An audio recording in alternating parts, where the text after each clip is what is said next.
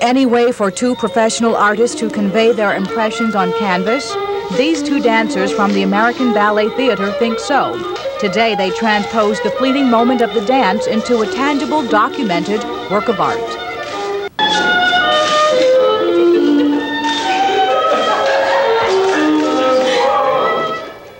The afternoon performance was carried out in part to promote the American Ballet Theater's local tour and performance of Cinderella. The dance was purely unrehearsed. Oh, no, they asked us what they asked us to do was just do some the, of the choreography that we already do in the rep. And we started out that way. It got so slick, we basically had to improvise and tone things down. We couldn't do anything full out. Art, music, and movement. When it was over, this is what the canvas bore. Clever, but is it art? That's to be decided next week when the painting, cut in two, will be auctioned off to the highest bidder. Proceeds will go to the American Ballet Theater. Pam Saulsby, News 4.